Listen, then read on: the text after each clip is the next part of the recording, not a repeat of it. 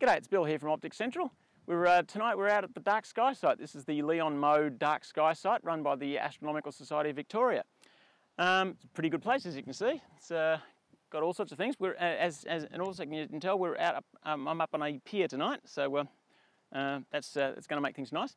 the first thing we're going to do is try to learn how to polar align one of these Synta scopes without any electronic jiggery pokery, which is uh, what I do, so it's going to be a bit of a challenge for me. Um, they've got some new software, so we're going to be trying that out. So uh, anyway, let's. Uh, I'm going to keep on uh, keep on uh, setting up. Okay, counterweights are on now, so uh, let's just test it. Whee! Look at that. Nice and nice and balanced. Scopes, the, uh, the, mounts could be a little bit looser, but you know, track's great.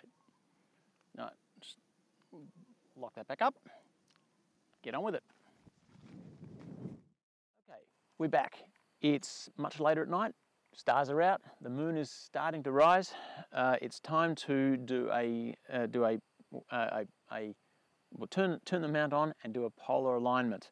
Now, the way this, uh, the, the, way you do a polar alignment, if you don't have a polar scope, this one does, but if you don't have a polar scope and you've got the latest version of the Synta software, is you you set you, you set it all up. You roughly have it po pointed at sigma octans, which is behind me. Well, I found it in my, in my binoculars. Um, now we, we don't know whether we're one or two degrees off, but it's it's we know we're close.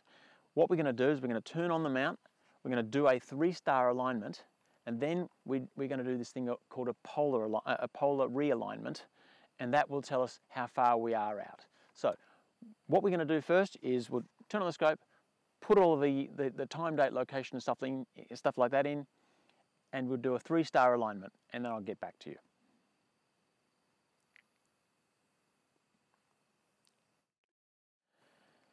Begin alignment, yes. Now we want to do a three star alignment.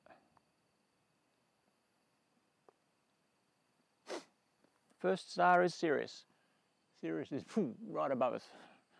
So you're going to watch the scope fall over into itself. Let's go.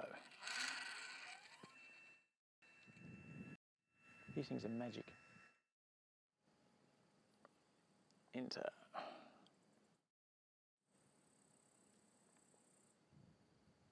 Alpha Centauri.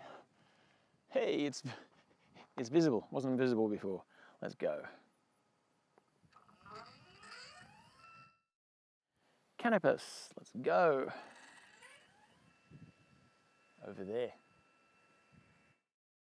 And enter, let's see what it says. Alignment successful. Okay. Okay, we've done our, we've done our three star alignment. Uh, press enter and it tells me that the, uh, the elevation error is 10 minutes and 16 seconds and the azimuth error is 21 minutes and 56 seconds.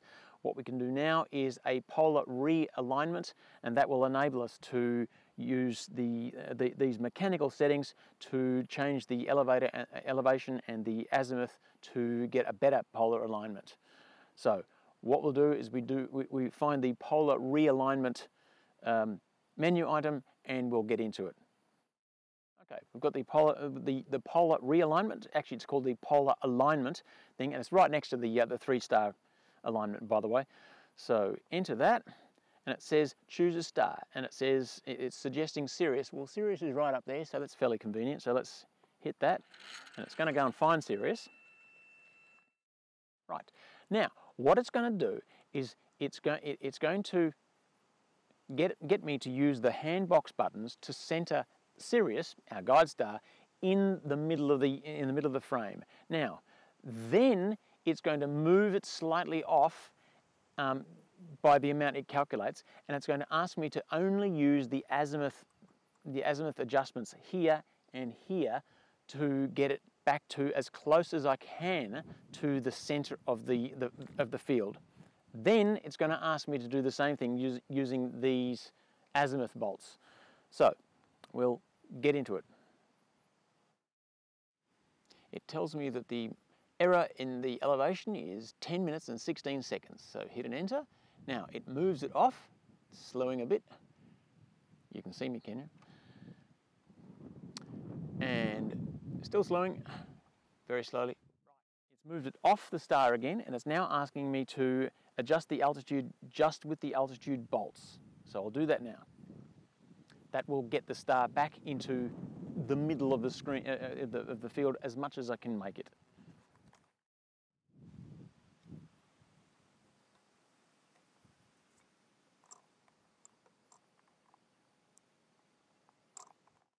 Right, that's pretty good. It's not in the very center of the, of, of the field, but it's as close as I can get to it. Oh, gonna need the glasses. Right, enter. Now it's going to, it says the, it's tell, telling me the elevation error is zero now, which is, that's, I'm pretty pleased with that. Now the altitude, the azimuth error is 21 minutes and 54 seconds, so let's hit an enter. It's going to slow slightly off that, and then it's going to ask me to only use the azimuth bolts to move it back.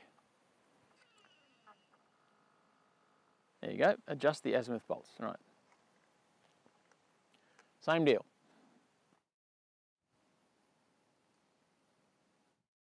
Okay, the handbox is telling me that it's estimating I'm three seconds out in elevation and bang on in azimuth.